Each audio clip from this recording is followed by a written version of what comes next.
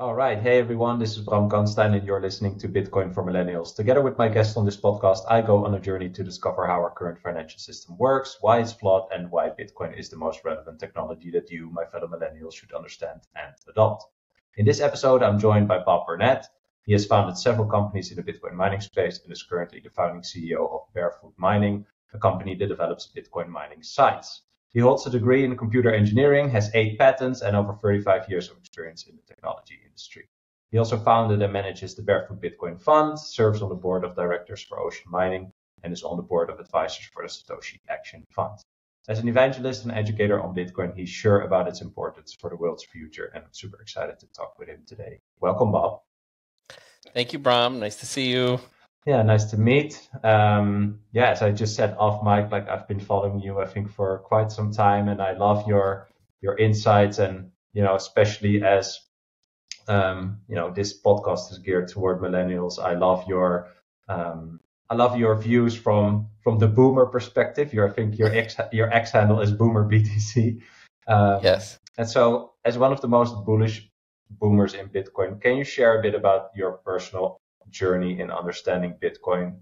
Um, yeah, I also mentioned off mic, you know, like I, I really think that, you know, uh, boomers and Gen Xers who are really orange pilled or orange pilled themselves, right? Because you orange pill yourself, you know, they managed to challenge their personal beliefs, like all the things they thought were true and what they learned. And um, now they see the world in a different way. So yeah, um, uh, I'm interested yeah. to hear like what, what has been your, your journey and how do you view that?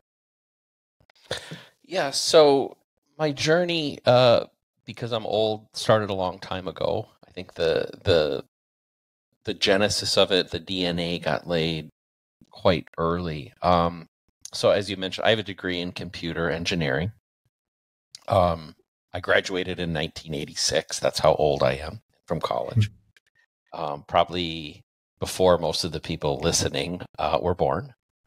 But I also I also studied economics in school. I have a minor degree in economics, and I was always fascinated by that, just coincidentally, right? And so I started my career in the personal computer industry, designed computers, uh, most notably for a company called Gateway, where I was the chief technical officer. You mentioned that in the bio. Hmm. We were big. We were about a $10 billion organization at our peak um, selling about 10 million PCs annually. And uh, I was part of a team that took them public.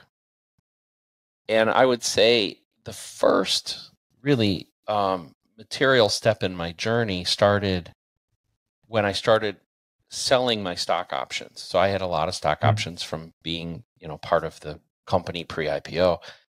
And I started to come into some wealth for the first time. This would have been in the late 90s. And so I remember taking this pot of money and saying, well, geez, I, I had worked hard for this. I was fortunate. And I said, well, I don't want to lose this money.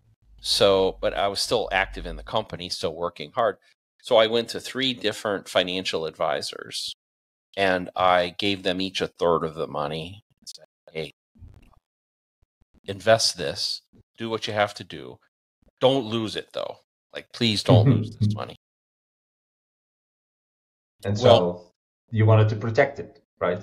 I wanted to protect it, right? I mean, a very classic kind of Bitcoin thing like, hey, this is that that money represented my work, right? Yes. For at that point almost 15 years. Like 15 years of my labor was that money, right? That's yes. what it represented.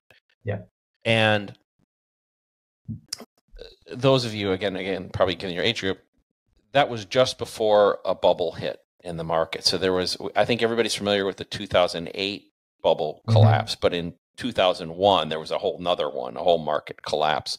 The dot com bubble burst, and the people who were managing my money didn't do a very good job. And mm-hmm. so after I can't tell you the exact time, but five to seven years, I start looking at the money I had given them, and I was down I was down not in purchasing just in purchasing power, but in absolute dollars. So when you factor in inflation, um, it was a disaster, right? So when you when you go negative for five to seven years, Um, and that's a lot, right? So if you look at like yeah. your work life and say, hey, I, I you know, I, I have negative production in purchasing power over that extended period, it's hard to recover from that. Yeah. So I became, I started to become very disillusioned by this. And in that early 2000s period, I started looking for other things. And one of the things I found was Austrian economics. So mm-hmm. even though I had a minor degree in it, I'd studied it, it was all Keynesian based. I found out, hey, there's this other school of thought, and I aligned with it. It it made sense to me. It was um, interestingly, as an engineer, I'm very mathematical and I love things that fit equations, right? So yeah. you're taught in early economics, you're taught a lot of that stuff, right? Um, the Phillips curve or these different things that that economists pretend you can kind of predict and manipulate the market. And then you find Austrian economics and you go, no, that's that's to a certain degree hogwash that economies are living, breathing things, and you can't control them. You you you know the the best thing you can do is let them be, and and if you do, then you won't screw it up, right? But the yeah. moment you start manipulating it and thinking you whether it's interest rates or playing with the money supply or doing those sort of things, you're just bound to screw it up. Hey there, thanks so much for listening to this episode. I just really want to ask you for a quick favor. Over the last few months, I've seen that only 75% of people who listen to this podcast or watch it on YouTube are actually subscribed. And the most important thing I'm currently focusing on, next to hopefully giving you interesting conversations, is growing this podcast subscriber base so I can continue with it into the future. I want to thank everyone who has been viewing and listening to Bitcoin for Millennials, leaving comments here and sending me DMs. It's been super, super motivating. So thank you so much. So I really want to ask you to please hit the subscribe button on YouTube or follow me on your favorite podcasting app if you are enjoying this podcast. Thanks again for joining me on this journey. Now back to the conversation. Yeah. So, well, it's human behavior essentially, right? So, yeah. Right. The one side says right. we can model that or we can steer that, and the other says let's just let it do what it does, basically. Yes. And if you let it do what it does, it will it will moderate, right? Hmm. It's kind of like nature, right? You know, it, it, it you know, nature nature you know, one summer might be hotter than I'm not going to get into the global warming yeah, yeah, conversation, exactly. but but yeah. but let's just say, you know, you. generally, you know, we know when summer's coming, we know when winter's coming. There's a cycle. There will be these cycles, but they're not they're not extreme. You mm-hmm. know, you don't you don't get summer and winter and winter and summer like you kind of you know, and so the same with an economy that it'll it'll it'll moderate, it'll become more predictable. Well. so I start. So in other words, I became this. Another way to state this is I became very disillusioned with Wall Street and the traditional system, and I started looking elsewhere. I was first exposed to Bitcoin in 2011 or 2012, but unfortunately, um, did what a lot of people did, um, even to this day, right? Is I didn't put any material effort into it. It it just seemed too scammy, too mm. uh, unreal, and I discarded it. And I came back. I'll make. I, I, won't tell you the, the the long version of the story, but the short version of the story is: in 2017, I got contacted by somebody who said, "Bob, can you develop some Ethereum mining servers for me?" Hmm. Well, that's that's a language I speak, right? So this guy wanted to buy 300 Ethereum mining servers. Um, oh no, sorry, it was it was 800 Ethereum mining servers, several million dollar order. And so I took that order as a computer guy and I designed those computers and started a company that we now know as Barefoot Mining, came from that. And I, I designed those for him. Then, after a little bit of time had passed, I started looking at Ethereum technically, first technically, and going, I don't like it. It doesn't add up. And this would have been 2017, 2018. And so, me as a technologist saying, hey, something's not right here. It, it, it's too complex. There's too much going on. There's too many central points of control, or uh, by a point of control, it's the same as saying a point of failure. Like there are there are Yeah. these things that didn't make sense. I started looking elsewhere. I went deeper into Bitcoin, found found Bitcoin, you know, and so now the technology started to resonate with me. And then there was this uh, realization that not only was the technology there, but my Austrian principles were embedded within the whole thing.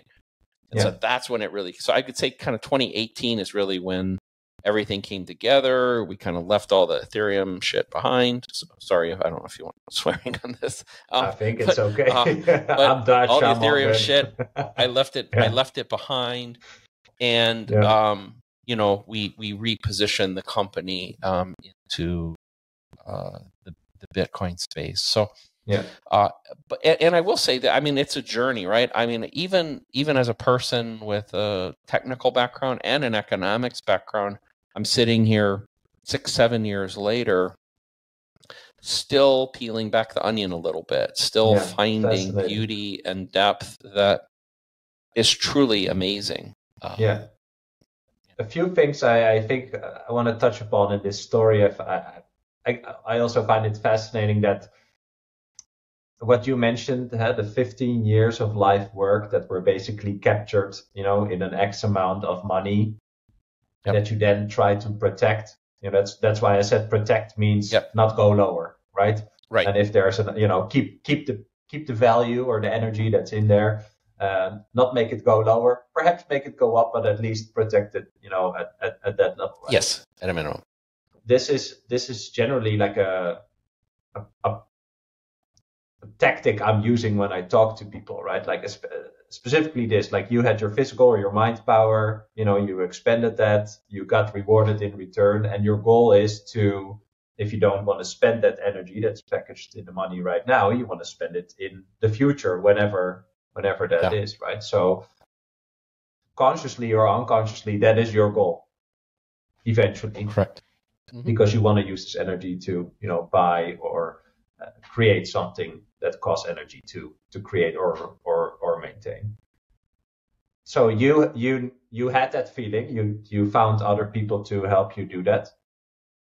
But were there things that you even though you were in tech this company went ipo you had an economics background were you aware of of that you were doing this? Like like the the the let's say yeah, conserving the energy part of it? Like were you aware of it or were you just following what you what you thought was the way to go Uh, uh, oh, I would say at a superficial level, yes, but not not at the deep level that how I you- have now. Right. exactly So at a, yeah but but but I will say, like I said, at a superficial level, I mean, I I was very aware that I had just worked for roughly a decade and a half in an industry that took a lot out of me. There was, you know, um, the personal computer industry of that era is very much like Bitcoin was. Like this was the, you know, I was, um, I don't want to back get too dwelling on it, but like my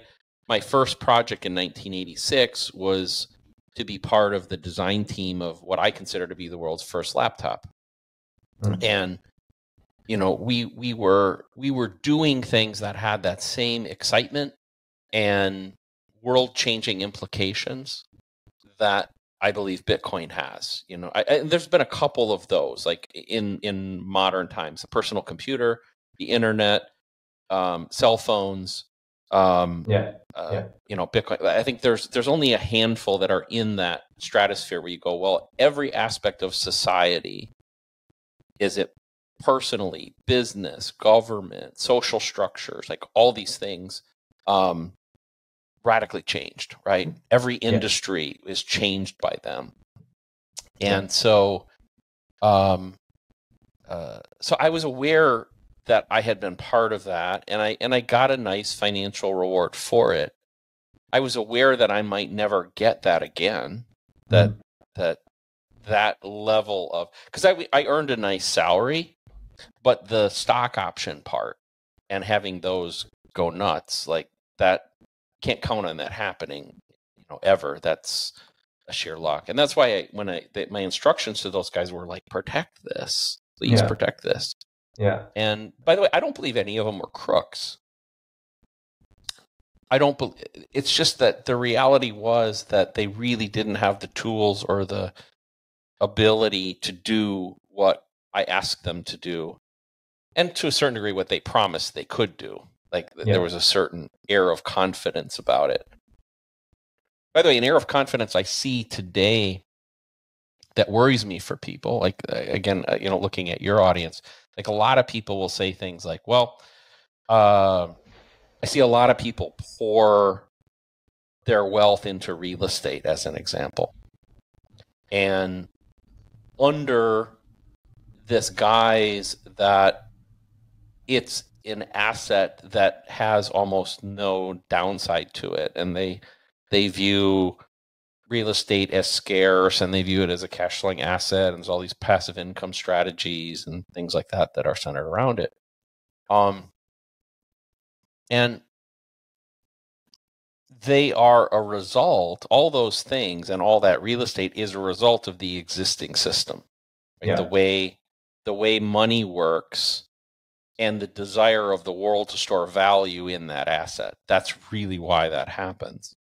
And so if either that system starts to fail or a better store of value becomes more apparent to people then real estate can lose. So it you know I, I i'm afraid for people that like get very leveraged like into real estate and think they have made it because they can have the whole system collapse on them too yeah well it's also i think just based on a certain understanding or expectation or what they think they should do, perhaps similar as to what you did, you know, in, in, you know, early 2000 or 2001. I, I think in general you move with what you know. Um, but that's also why I find it so fascinating that people who are into Bitcoin and came from a more traditional world, you know, actually now don't see those traditional assets as something they they actually should invest in, you know, or they have control over. So yeah, yeah, I think you just have to learn the hard the hard way. I think it's very hard to. I do, I do think I went a bit through this journey, right? To like orange pill yourself without a problem, in a sense, mm-hmm. you know, um, yeah. or or losing a lot of money in you know other other assets but in general, like you you have to experience some sort of downside somewhere to actually question, you know, what am I actually doing? Do I understand what I'm uh, yeah what I'm doing? Yeah, and that's you know I think that for boomers, the issue is that you know many of them have gotten to the point where they're almost completely insulated at this point. Mm. So let's say they've they've acquired massive amounts of wealth. And it's some in real estate and some in equities and some in bonds and some in cash and some in these sort of things. And they at a minimum they feel invincible. Like they've they've maybe retired. They think they have it all figured out. And maybe they do. Maybe they don't have that much life left. And so they really don't have to worry like the the most catastrophic situation you could think of. Yeah. and that's a problem. Uh, uh, when i do i do a lot of public speaking and often when i'm speaking with that kind of group one of the first things i'll say is you need to understand what i'm going to tell you. You need to take yourself out of this position in a first world country with a first world financial system you need to ignore all the successes you've had and your friends and family have had in life. And you go place yourself in Argentina or Lebanon or by the way, a part of my perspective comes from my wife who was born and raised in the Philippines. That mm-hmm. helped me a lot to understand Bitcoin. Um, because, you know, when you look at it through those optics, it's a lot easier. Those people get it much, much more quickly.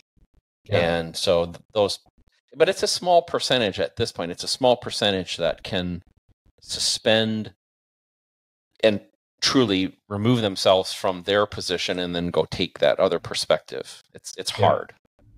So what? How was this?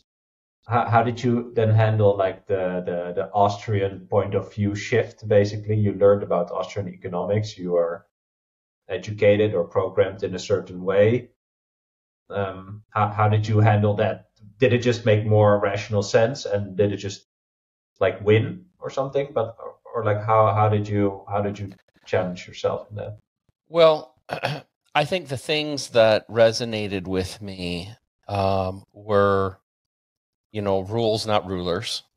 So the yeah. the removal of money from the state was a big thing, and you'll see in a lot of Austrian thought and libertarian thought that's kind of analogous to it. You know, you see that kind of a certain distrust of the state distrust by the way not 100% meaning people doing bad things but it, it involves incompetence and improper incentives too like the, the like there's all those things that say it's the the state managing money is a bad place like it, it's the wrong place and yeah. and essentially any any human managing money and then you add in things like sound money principles, which are a key piece of typically of Austrian thought that, you know, a lot of gold bugs, obviously, you know, and still that way. Like even the Austrian community hasn't embraced Bitcoin wholeheartedly. The gold community and the precious metals community still is largely resistant to it. Um, we talked a little about Larry Lepard before, who's a friend of mine, you know, and Larry's Larry's one of the guys of my generation and also guys that came from like that world yeah. that embraces Bitcoin and sees it. But uh, you know, we can talk about the psychology of this in a little little bit maybe, but uh, you know, the, the the the those things resonated with me, the fixed money supply. And I still think a lot about this today the importance of absolute scarcity and the implications of absolute scarcity, which the Austrian thought would embrace, but that nobody has actually, like, there's very little written mm-hmm. about absolute scarcity because it's never existed. Well, like then we that, have provable actual, you know. Yeah, yeah, auditable, verifiable. Yeah, exactly. Like, these are these are wild concepts. But I think what happens too is, like I said, even within the Austrian community, even within the precious metals community, and they they somewhat overlap. Um, when you talk to gold bugs, they're often people. Say, I'm I'm almost sixty. Okay, I was born in 1964. If if you take somebody who's my age, and let's say in the mid 80s or early 90s, they started buying gold. And they saw the problems with the system. They had this distrust of state and money, and they start buying gold. They start buying silver. They're buying all kinds of coins, and there's a, a, a silver silver one right here, right? Nice. So you get people uh, stacking this stuff, right? And and they've they've been evangelizing to their family and friends and probably ridiculed for saying buy this buy this stuff well it's almost like 30 years later like the vision hasn't fulfilled but now mm-hmm. the economic and political conditions start to align and they feel like ah, finally gold and silver's time has come. And out of left field, Andreas Antonopoulos, I'm stealing this from him. This punk rock thing comes in, Bitcoin, yeah. and it completely blows up and supersedes this whole thing. So, you know, you either embrace punk rock or at which point you have to essentially say I've I think the feeling would be I've just wasted 30 years. Like I have 30 years of my life not only financially invested in this other thing but emotionally invested in this other mm. thing. And the, that's the harder part I think by the way. I think that's the harder part is to to look in the mirror, to look at these other people and say I'm sorry I was wrong don't buy gold. Don't buy silver. Bitcoin's better. Yeah. Like well, that's sunk cost fallacy, right? Yes. Yeah. It, it's that's a tough one. Yeah. That's a hard one. I, I think that's a real psychological uh, thing where the just going along with whatever you started feels better than admitting that you were wrong and that you know you should take another another path, right? Like that's a real deal. Yep. And it does make sense. But do you also think then because these people did that a while ago, I think like I'm obviously thinking about someone like Peter Schiff, right? Like yeah, yeah, yeah. The, the interesting part there is I think the you can feel like that, you know, what you just said, like wow, I'm kind of like in this catch 22, like, should I do this or should I do that? Like both, it's basically a defeat in a sense. Um, but he's on the offense, like, and that I find fascinating that, that when you then look at Bitcoin, that the whole thing about, you know, stay humble, um, show your humility, right? You, you know that you don't know everything, like all these more ethos type things in Bitcoin I find it interesting that, and I wonder what you think about it. Like, where does that come from in Bitcoin, and why isn't that in any other type of asset? Basically, like you have gold bugs and you have real estate, you know, uh, yeah, um, enthusiasts, etc. Like people are all into that, but why is Bitcoin so ethos driven as well? Like, where does it come from? Yeah, well, I think it's because Bitcoin isn't just an asset, and you know it it it is it's an entire ecosystem in and yeah. of itself. You could almost argue that like you and I don't know each other well. However, um, from the little I know of you, which would be some Twitter interactions and this call mm-hmm. today, I would say that you and I are aligned like countrymen. Mm-hmm. That that I have that feeling about Bitcoiners that would rival my patriotic spirit. And and you know, it's it's because we have a mission to we see a path to a way of life, not only for ourselves, but for our children and our grandchildren and those sort of things. gold gold doesn't provide that. You know, mm-hmm. gold no stock does, no gold does. You know, they they're they're like transactional things. They're not relationship things. Yeah. And so, you know, Bitcoin, and by the way, that's another problem into why does boomers or uh, we'll just talk boomers for the moment. Why do boomers struggle? Because it's very difficult for them to understand that Bitcoin is not just an asset.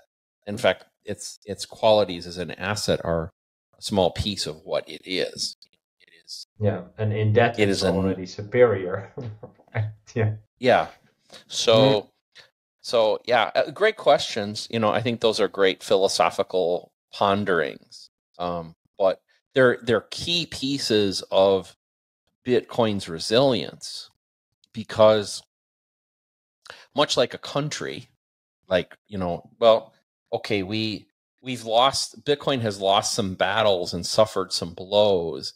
It's had traitors like um, Craig Wright or mm-hmm. Sam Bankman Fried. It's had these bad actors that cause damage, but like, you know, we're we're we're countrymen, we're patriotic about this. And so we're we're still gonna march forward. You know, we're disappointed that those things happen, but we're still marching forward. You know, yeah. And and yeah. Yeah, I, I I have the exact same feeling. Like I never met a Bitcoiner I didn't like because there this this shared understanding of not only that I know that you did the work, you know what we just talked about, like you did the work to to to understand this, and it's really hard, but also, yeah, where we see it going, that's kind of what bonds us, and then like the location or religion or gender or age or profession, like all these things are super irrelevant. Um, and I think that also makes life simpler in a certain in a certain way, right? Where people let's stay with the fiat system. People in the fiat system they argue over everything, all these little differences and all these little stu- stupid things. And I think in Bitcoin, there's not really any of that. Like, um, yes, of course, there's debates about all the tech stuff, you know, but just like on a personal level, it doesn't really matter what you're into when you're into Bitcoin, you know, um, we probably can get along. That's not because of the subject, but because the underlying, um, let's say more, more the work that we both did. Yeah. Yeah. You know, I said something, I, I did an interview with uh, Peter McCormack a while ago. And one of the things I said on that show um, was that I've gone through this development in my own life from starting with looking at Bitcoin maybe as a technology or asset to a realization that no it it has become in many ways the second most important thing in my life. My my family and my close friends are more important to me right? Their their welfare and their happiness is the most important thing to me. But after that i've come to realize that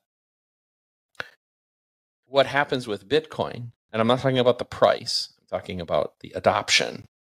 And its its you know getting the world to embrace it is really the second most important thing because I, I believe almost all other ills on this earth are at least in a, a, a secondary way, if not a primary way, the result of the broken monetary system and manipulation by the state and sort of things. And so um, living the ethos, which you you mentioned before, you know, I try to do that personally try to run my company and all my investments from that same perspective. You know, do do no harm to Bitcoin. Do what's best for Bitcoin. If if something benefits me personally but harms Bitcoin, do I want to be involved in it? Um, and I think each of us, like to to evaluate where you are in your Bitcoin discovery. You know, if if somebody said, "Hey, I'm going to write you a check," we'll call it for an obscene level of wealth, but it means that Bitcoin is going to either have a major setback or fail. You know, what, what would you do? And and if if the answer is I'll take the money, okay, you know. Um, but I, I'd say really ask that question, like, and and really present it because some of you out there may actually get that opportunity at some point. Like I, I um, I've talked about this before. In the last cycle, I just kind of got it into Bitcoin, but we started this bull run, right? And we were involved in Bitcoin mining. And we had the opportunity to go public. We had companies, like there are companies that their business is taking companies public. So you know mm-hmm. they'll they'll knock on your door if you reach a certain level of, and it doesn't take a lot, right? They'll start knocking on your door, and any any modicum of success, and you'll probably start getting that. And we said no, we won't do it because we I believe that especially for a mining company, a Bitcoin mining company, that what will happen is if you go public, you change your time horizon, you change your time preference. It will force you, no matter what you think, it will force you into high, high time preference behaviors. Yeah. And you will start making decisions based upon what makes your next quarter's results better. You'll you'll you'll choose that over maybe what's best for your company and for Bitcoin in the long run. Um, and it's just a it's a result of Wall Street. And I lived it. I I you know I can say that as somebody you know said we became a massive company, and I saw even in the personal computer industry that maybe it wasn't the best idea for for my company to have gone public. It generated a lot of wealth for me, and in hindsight, I go, oh, maybe, maybe I would have actually made more money. Maybe I would have stayed in that career longer. Maybe maybe um we had 25,000 employees and that company eventually was acquired by Acer and nobody works for Gateway anymore. Yeah. So Yeah, so what did you better. achieve then? Yeah. Right? Right. Like what exactly. Yeah. So exactly. this was a question I wanted to ask later I wanted to ask, like, do you see Bitcoin as just a technology or also a philosophy? But I think we already answered that in this way, right? Yeah. Like, it's it's more than just um, the tech. Um, yeah, and I feel the same. Like that is what fascinates me so much. Like sometimes, even in this podcast, for me, like I hear myself say things of which maybe three years ago I thought I would never say them. Yeah. Right. But it's the it, it I really think that Bitcoin change changes you once you Yeah. are hooked in some way, whatever dimension it is, you get in on it. But every day I learned. Yesterday I tweeted something. I learned something new. After ten years, I'm still learning something new almost every day Yes. about Yeah. this thing. You know, and that is just uh, very rewarding, just intellectually. Only that, Yeah. it, it's it's already rewarding. Yeah, I um you know, I'll almost go back to what I said before about Bitcoin being almost like a country. And so I think uh my my wife is a naturalized US citizen. She became a US citizen 6 or 7 years ago and I went to the ceremony where she took the the the oath and became a citizen. And I think that I think Bitcoin is much like that. It's more an oath to yourself, but like Yes. I I would view myself as I'm a citizen of Bitcoin. Hmm. And I, you know, because I believe in what it stands for and I will protect it. Right? So when you when you look at when you look at at least the US citizenship oath, I'm I'm sure other countries around the world have a similar oath when you become a naturalized citizen, right? Yeah. That you take an oath to to it and it usually says, "Hey, I'll abide by the laws. I believe in what it stands for. And I am willing to fight and die to protect these things." Yeah. And I think that's kind of where we are with a lot of us with Bitcoin. I mean, you- make your own personal decision, but but that's why that's why we have this vigilance uh, about it is that that you cross a threshold. I wasn't there in 2017 and 2018. I can't tell you exactly what day that threshold was crossed. It was probably somewhere in that 18 19 period. But now my my vigilance and loyalty is much much stronger you know those who don't understand us probably look at it as fanatical Well, I Um, wanted to and- ask Bob, are we in a cult? That's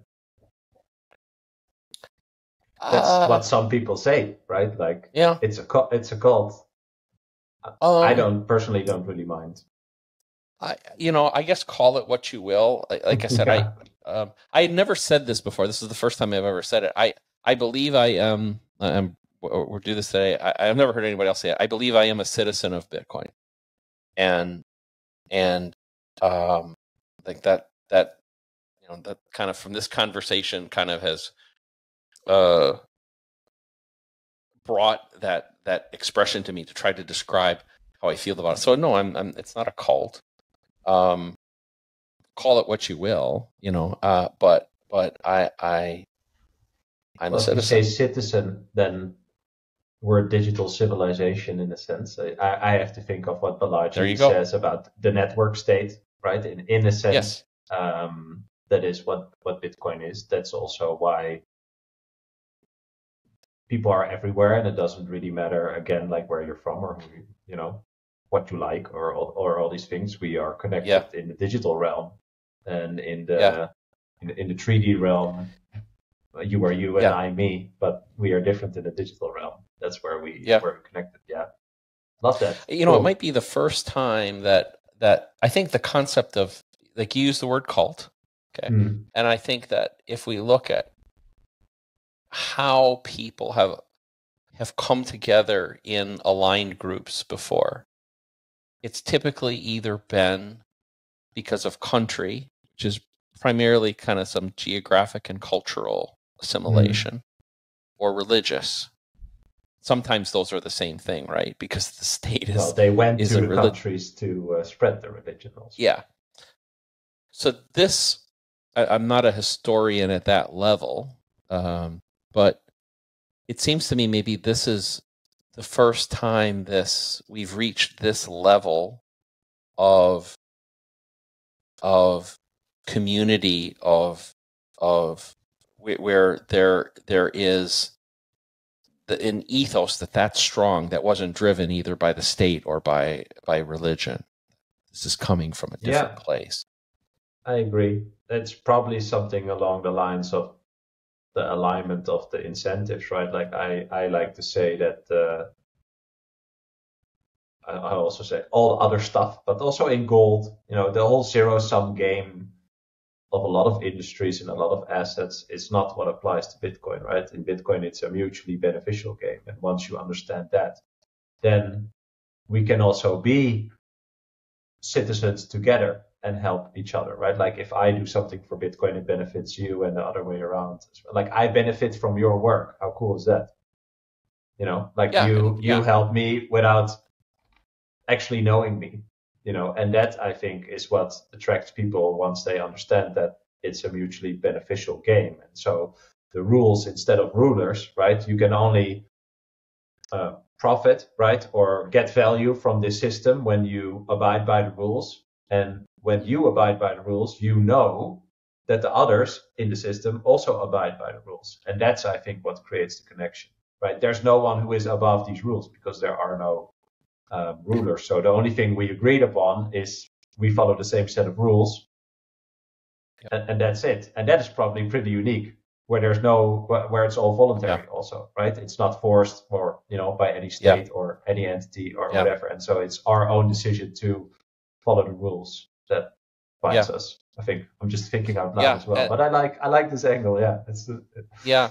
Nice. Well, I know uh, not my area of expertise, but you know, we, we all dabble, right? And I, um, Jordan Peterson, I'm familiar with him and his work, but you know, mm-hmm. one of the things he'll say um, is in child psychology, he'll, he'll quote a, a guy named Piaget, and he'll say that essentially, if if a group of kids are playing together and one of the, they're playing a game and one of the children continually violates the rules or even worse keeps trying to change the rules then eventually the other kids say i don't want to play with you anymore. You're not my yeah. friend.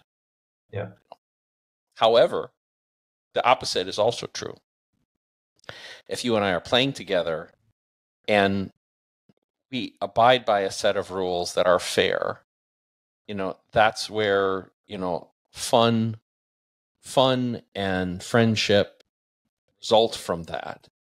And trust comes from that. And so you know what bitcoin does is is it takes out the human propensity to try to want to do those things and forces us to live by the rules right? And yeah. and then well to control the base layer of our agreements, basically right? Right. Yeah. That, I think that's it. So we have an agreement. That's the base layer of our interaction. And it's so beneficial for both of us that we do not fuck with it. Yes. And, and in the other system, there is a way to fuck with it because yeah. there is there is not one understanding of the base layer. So there are all these opportunities to um, corrupt it, and then it's just human nature, right? Like anything that yeah. is can possibly be corrupted will be corrupted yeah. or just personal yeah. personal gain. Yeah, nice.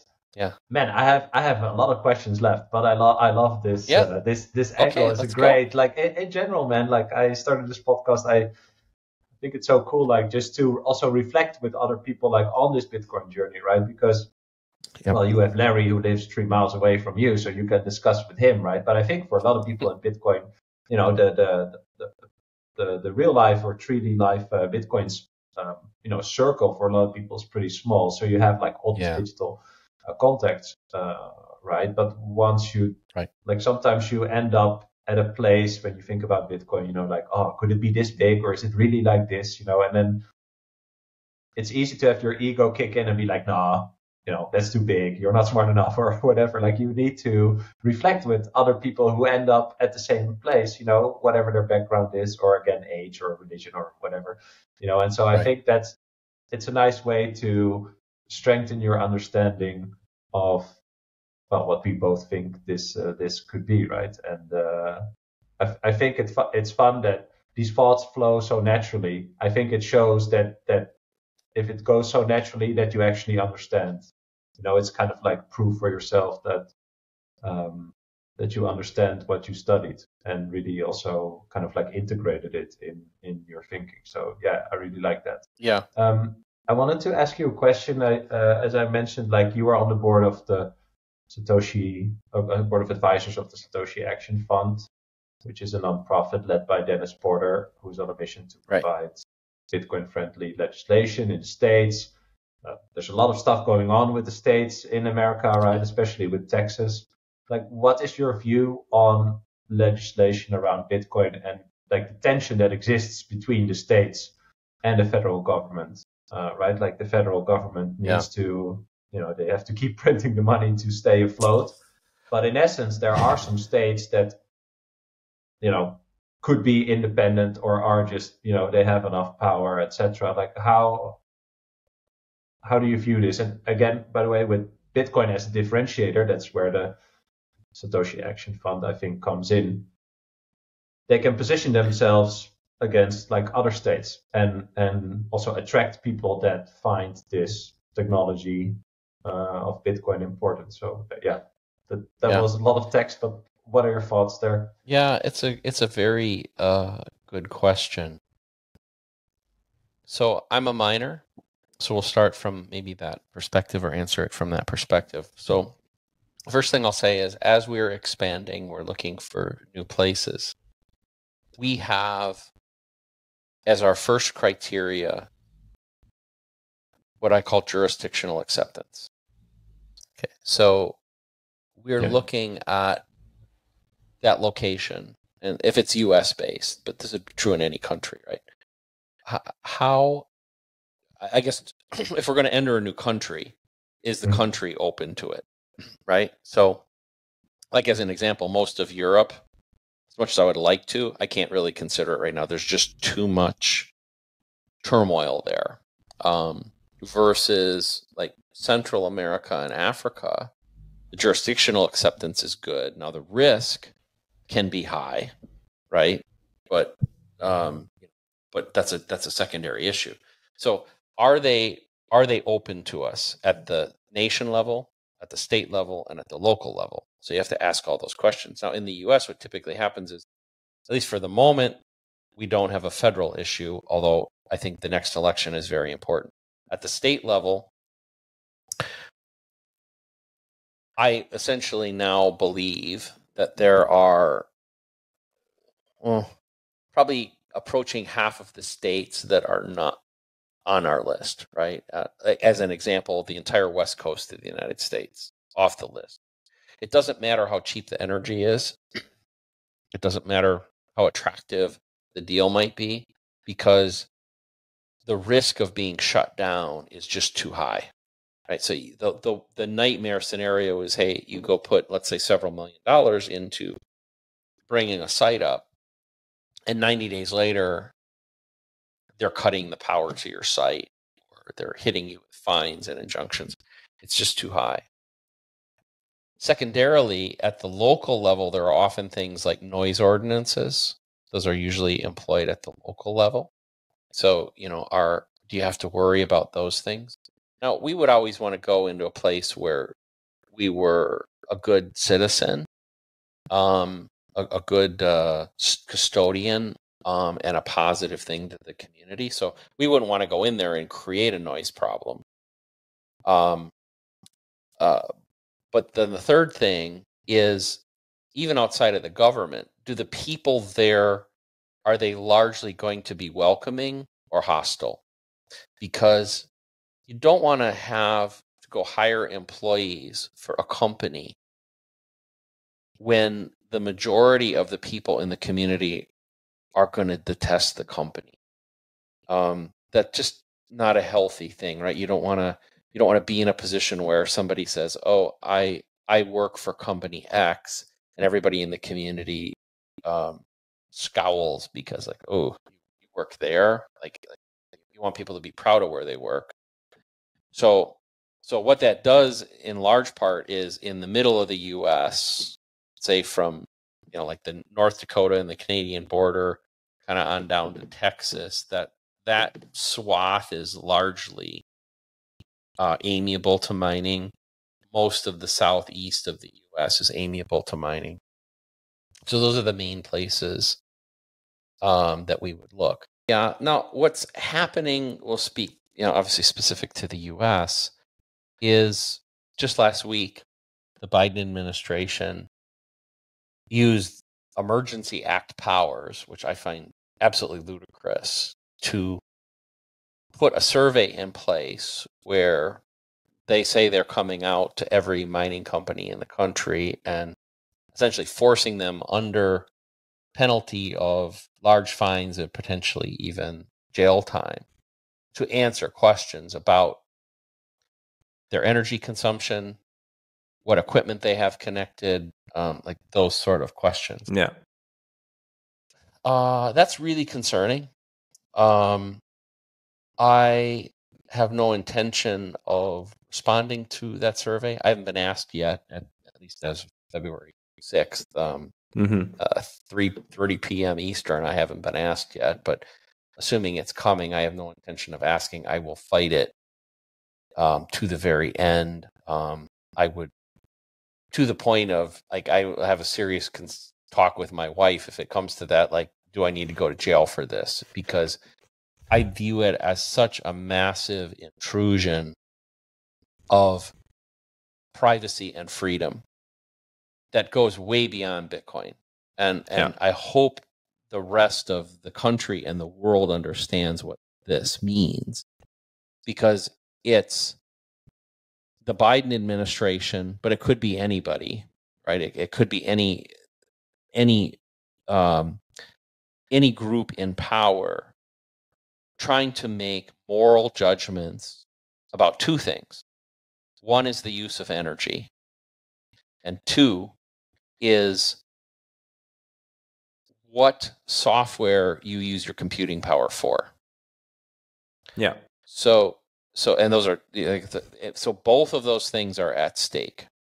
And and if we are forced obviously at the first stage to just disclose even what we're doing that's a massive invasion of privacy at the point like he because he already tried last spring the biden administration tried last spring to impose a tax on energy consumption of bitcoin mining companies or Yeah. bitcoin miners in general so should something like that come about what essentially it, it is just one step away from saying okay somebody can make moral judgments are microwave ovens or hot tubs or curling irons i mean you pick whatever it is that consumes energy from somebody being in a position of power making a moral judgment about that Mhm. but it also is essentially the equivalent of like I happen to have a MacBook Pro that we're doing this interview on, right?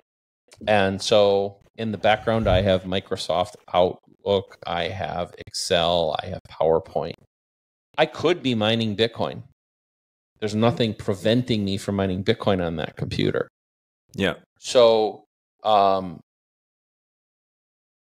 them saying that they're going to tax the cons- you know, well, the earlier last spring's proposal, them saying they're going to tax that means that they would have to have monitoring software on my computer to know when I'm running that software versus when I'm running Excel. And obviously that's a massive massive intrusion.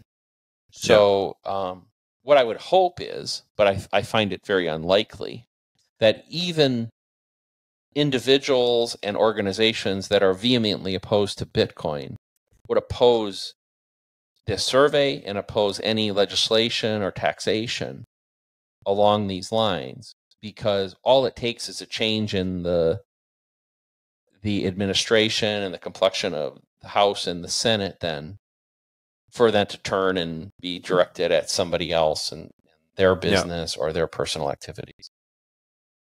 Yeah, I think that's a great example of how if you just don't apply to Bitcoin, then probably could be applied to anything else, but like it's also even it's very unmanageable. It currently it really sounds like it's more like a threat to see who who bites, and then you know they can create some precedent or something. But how how is this? Uh, how how could states battle this? You know, if we go back to Satoshi Action Fund, like oh right, this is of course Sorry. a federal a federal thing. How How is there tension? But you know, with let's say this issue and how the states view it, because if I follow what um, what they're doing in the states, there's a lot of uh, new yeah. legislation either just passed or coming up uh, yeah. uh, with regards to Bitcoin. Yeah, well, I, I, think we've had several states. Um, Dennis, I believe, is in Missouri again right now because we're talking about yeah. Satoshi Action Fund working with the state of Missouri. Um, there are several states that either have legislation or pending legislation starting to try to protect these sort of things. Now, I think this is what you were getting at before, and and I believe there is the potential for a massive conflict between states and the federal government about states' rights. And you know, we're starting to see these individual states, um, you know, put up these defenses and try to protect the citizens of those states uh, on yeah. the privacy perspective, especially uh, the privacy and the the the freedom perspective, both of those angles, and um, it could get very interesting. I mean, you know, probably beyond the scope of what we should talk about here, at least in any depth. But and we see we see the same thing happening with the protection of the border. Like where yeah. where can the state, you know, set it up? And and this is almost like the same sort of thing, but in the virtual world, right?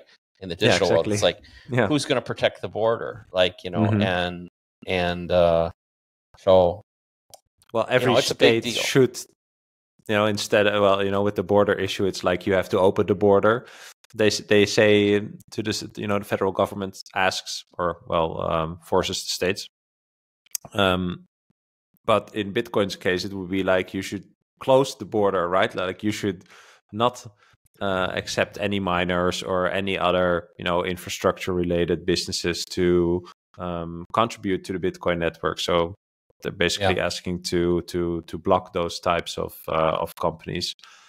Yeah, it's interesting to to see that continue. I I I find it fascinating to see just the tension, just in general. You know, the system in America is is very different from um, from the rest of the world with regards to the power of the state. So yeah, that'll be an interesting yeah. uh, interesting topics to follow.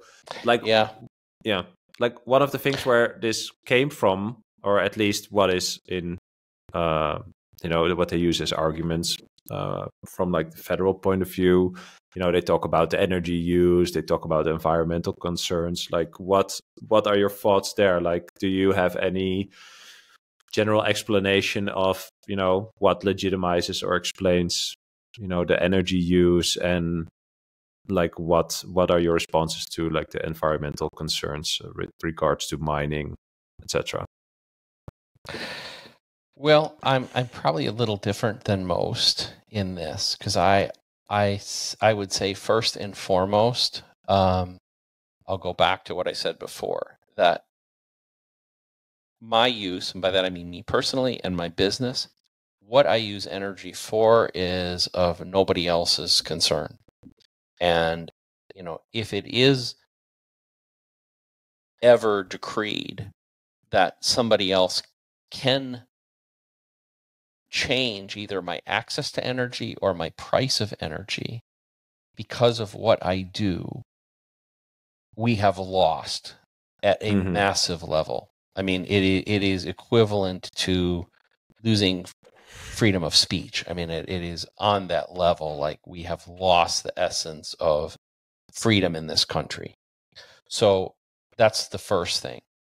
Um, the second thing is that if you want to argue about what we are doing, um, which I don't, I don't, I don't, I don't want to do that. But even if I did, I would say, well, we are fixing what we perceive to be. And I'll go back to citizens of Bitcoin. The citizens of Bitcoin believe this is the biggest threat to humanity, at least to, to humanity thriving.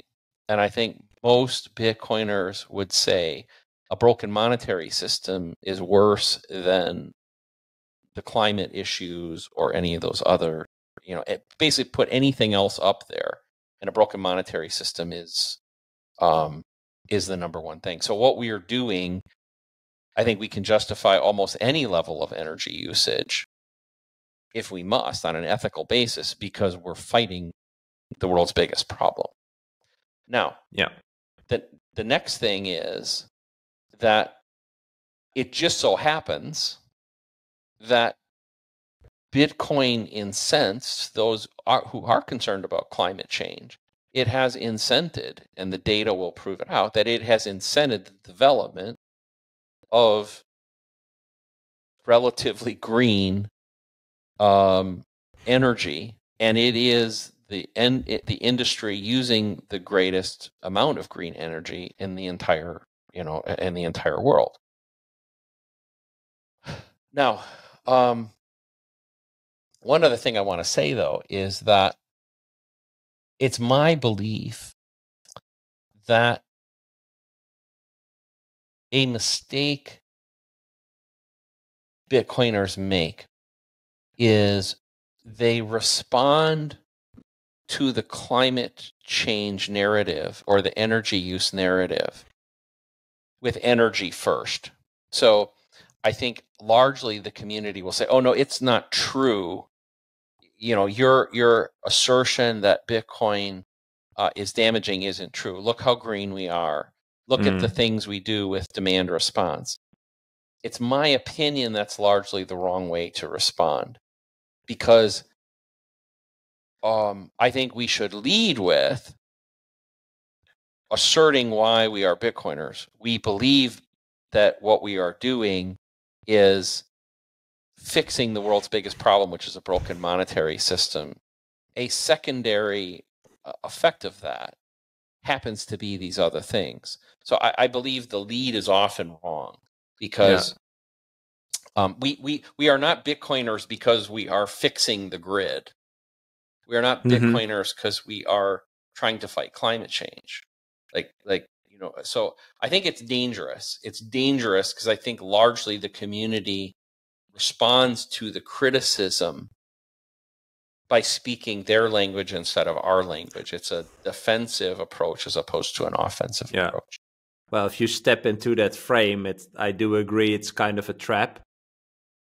On the other side, you know, if you say like how, uh, you know, if someone says something about the environmental impact or the energy use, then if your reply is something along the lines of, you know, where your argument opinion is coming from is totally wrong wrong. You know you should search it in the corner of a broken money system.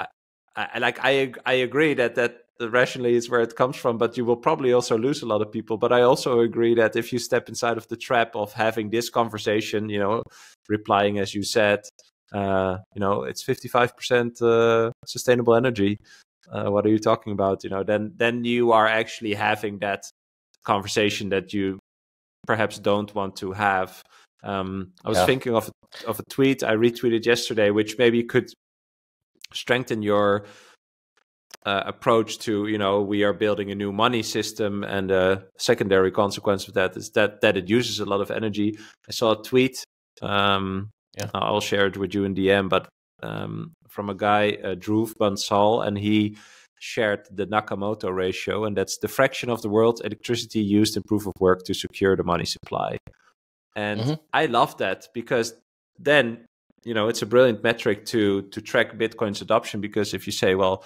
if energy is the um, most important asset in the world um, then the more energy that's directed to securing the base layer of this new money system the more it legitimizes the money system and that's just it right so you could also yeah. say well the fact that uh, this much energy is directed towards um, securing this money system should actually be a signal for you um, that demonstrates the importance of this money system you know and if this interests you i can tell you more about it you know so something along those Yeah. those lines I yeah, I I think those are good things. Um, you know, part of the problem I think we have is that the general public, like one of the first things a, a Bitcoiner learns, like when you become a Bitcoiner, is is you have to learn what money is, right? You know, because you you realize that your concept of it uh, you know uh, what it is and how it works has been grossly distorted so we have this problem when the criticism comes we're talking to a group of people who haven't done the work yet right Yeah. because you know what you said it okay money is the most valuable asset right well it's half i mean to be clear money is half energy. of everything well well money is half Yeah. of everything right Mhm. one and two what is money but energy? So Yes. what is inflation? Inflation is a loss of energy. So when inflation is 4% or 10% or whatever number you want to believe on a global basis probably on a global basis it's probably more like 12 or 14 if you add up all the inflation around the world. Well that's the annual energy loss right? Because if Mhm. if if if money is energy or and and or work right? Then when inflation is 14% well we just lost 14% of the energy compounded annually. Yeah. Um and so why don't we fix that problem? That that is you know the solution. But to your point and you know the people out there on the front lines and i'm, I'm semi on the front lines but you know people like dennis it's hard like i appreciate what he has to do because he's going to go sit down with might be a state senator or a congressperson or a member of their Yeah. staff and he gets 20 minutes to try to pitch something you know it, Yeah. to getting them to sit down and it's it's it's terrible like these you know the the i don't know as you get older one of the things you realize is that people that you may have held like when when i was younger people i held in high esteem congressmen senators um ceo and executives of big financial companies you know i you know i thought well the as a young person i would think well these must be really accomplished really intelligent people really knowledgeable well learned people. And then you start to meet them and you start either directly or you see the results of their actions and you realize not not, not really. They're really not. And and they're also um they're, they're they have very high time preferences. There's a lot of greed a lot of power grabs. Um the shine the shine and the luster uh just Mhm. goes all the way.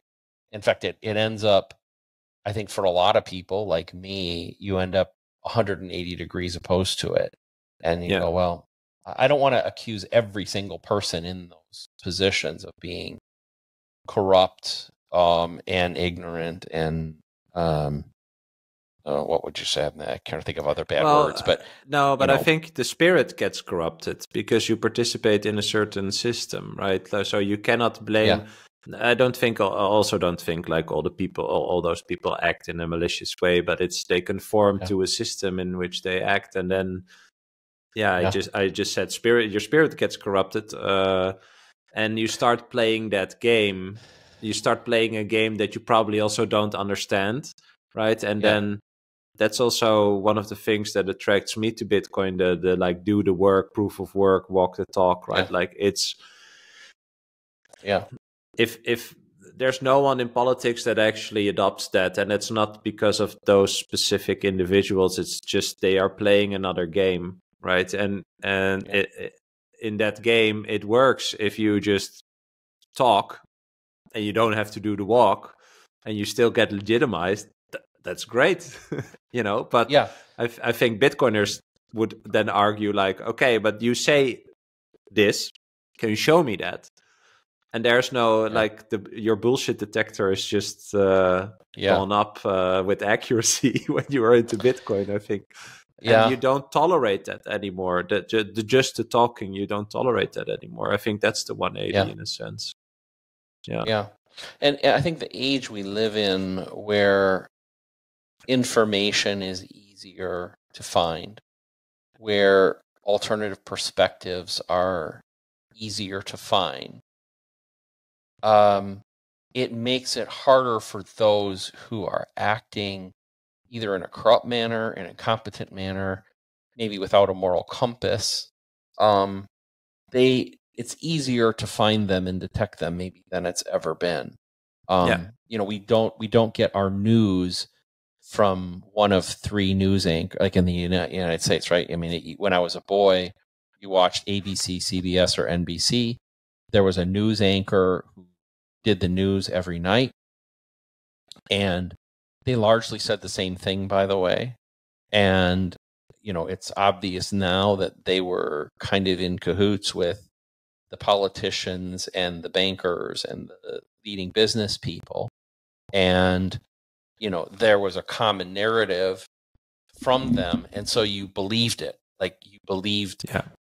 um, if if there was a given war going on, believed that it was a a war for the right purpose. If there was a new tax being implemented, well, you went along with it because all these, you know, these three uh, people who you you have been conditioned to trust all said the same thing. And, And, the people around you watch the same thing, and they then also do the same thing, right? So there is right, no, that this, uh, yeah, yeah. And there's the- no yeah, you're right. contrarian view, right? right and the Yeah. mo yeah and the moment that you found somebody that broke out from that they stuck out like a sore thumb Mm, you know um yeah. you know and so yeah so uh, you know i think that's what's changing and i mean that's a positive thing right that's all changing it's harder i think for those things to exist um it's harder for people to to hide wealth uh, there's still a lot going on but when you look at you know for instance the wealth that Nancy Pelosi or Elizabeth Warren has acquired as a senator making say $170,000 a year but somehow They after have 60 being- million or something. Yeah. yeah, hundreds of millions, I think, in Pelosi's case. Mm. But you go, well, how how how how exactly did that happen? Yeah. And and um, you know, there's probably nothing you can do to reverse the wealth that she acquired. But I think it it you know it 30 years ago, no one would have even known. That would have been Mhm. Yeah, exactly. no one would have Yeah. known. So talking about the past, I, I saved a tweet from yours um, where you talked about the Triffin dilemma, and I wanted to ask you a question about it. And yesterday, I actually had had a conversation with someone, and we found it so interesting that you know sometimes people joke, right? Like, oh, a bread used to be twenty cents, and now it's four dollars or four euros, right? And we Yeah. talked about the fact that it's just so weird that people find that a joke. It must be actually an ultra signal for you, right? Like if, if because I can get this is what I try nowadays, right? Like I can get most people to agree that the progression of technology should make things cheaper. Yeah. And then I tell the joke about the bread. And then I say, you know, does this make sense? Uh, you know, does does the the thing about the bread make more sense that fact or you know that everything should become cheaper and everyone agrees that you know through technology stuff should become cheaper right? I think um, you know in general that's also what what jeff booth talks about a lot. Sure. um, but you had a tweet about uh, a tweet I'll, I'll I'll I'll read it. It said in 1954 factory workers single income could provide for a family they could own a home and they could own a car. And as an answer to on X, you know, to what happened there, you talked about the Triffin dilemma, which dictates that the country whose currency acts as a global re- uh, reserve must be a net importer of goods and a net exporter of currency. Why why isn't this possible anymore? Like, can you explain this this dilemma? Yeah. So if we'll, we'll kind of look at it historically. So the U.S. became the global reserve currency not overnight, um, but I, I would say it culminated with the end of World War II. Um, but there was a transition kind of between World War One and World War Two from the British pound to the U.S. dollar. Well, at first, what must happen is if, for instance, a a uh, a company in Peru wants a new uh, highway to be built. Yeah. And they want to hire, let's say, a German firm to manage that project and and and build the highway. And it's going to cost five billion dollars. Well, the Germans don't want Peruvian pesos. Um, you yeah. know, they they want dollars, right? That contract is going to be in dollars. So what does that mean? That means Peru, if they want this highway built, has to come up with $5 billion. Well, the only way for them in reality to get $5 billion worth of goods or $5 billion is to sell $5 billion worth of goods to the, to the United States and yeah. get paid in, in dollars. Well, so um, I'm just going to make this up. You know, let's say in Peru, there's only a finite number of things they could sell to the U.S. that are worth five billion dollars. And now I'm pretty sure in Peru they grow potatoes really well.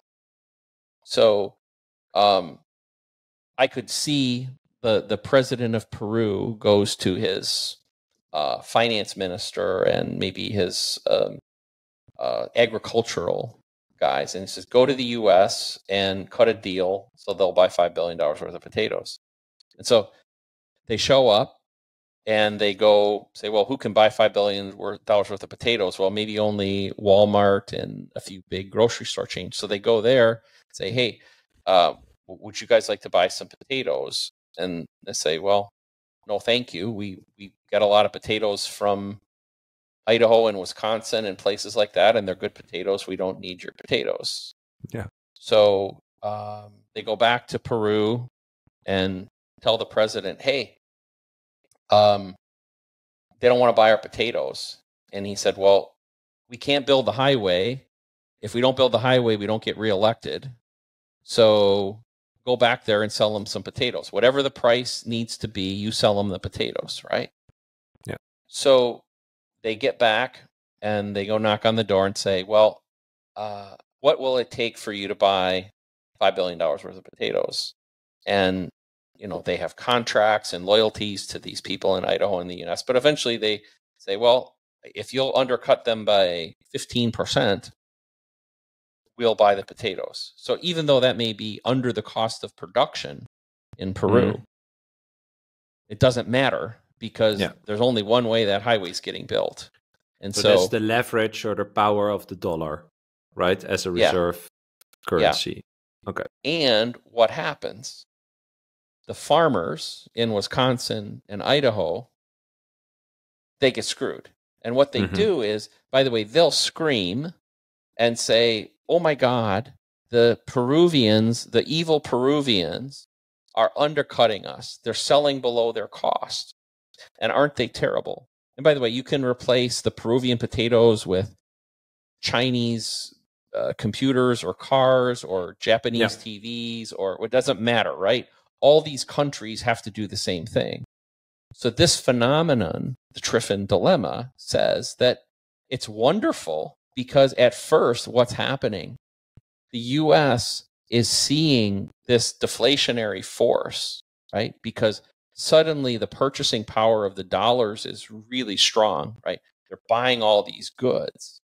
But in this in parallel, what's happening is the the production base, the manufacturing base, the agricultural base are being eroded.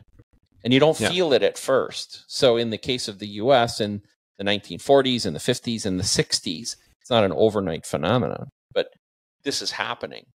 Um, Robert Triffin, who's the senator who, you know, testified before Congress in 1960, he had the foresight to say, "Hey guys, this is starting to happen." You know, he saw 15 years in what was going on, and so you know, part of my tweet was to say, "There's a fallacy because we'll see politicians in the US, I'm sure you see it in all these countries around the world. Like, hey, we will we will do X. Like in the US, it's often we will return um, American automobile manufacturing or the American textile yeah. industry, or you know, you pick it.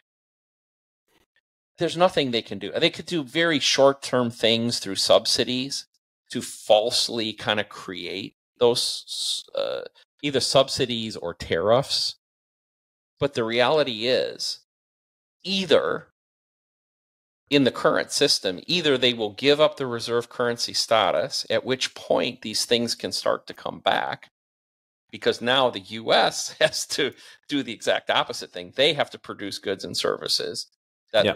Whoever the new country is. But there is an out. And the out is you don't let any country have reserve currency status. You you you have it a Bitcoin, right? Uh, Bitcoin, a rule without rulers. Monetary policy doesn't change. Nobody's in control. It's not. There have been proposals through the IMF and some other places about using baskets of currencies or baskets of commodities.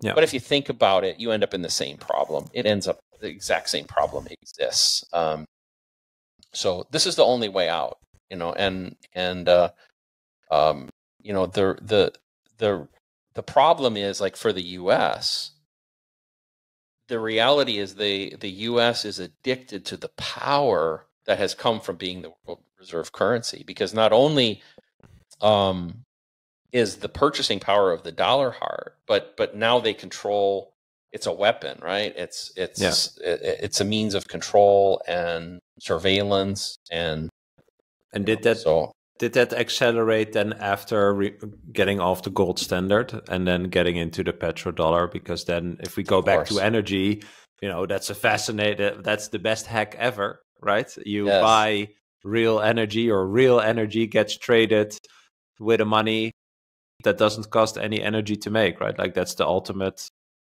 the ultimate wealth hack.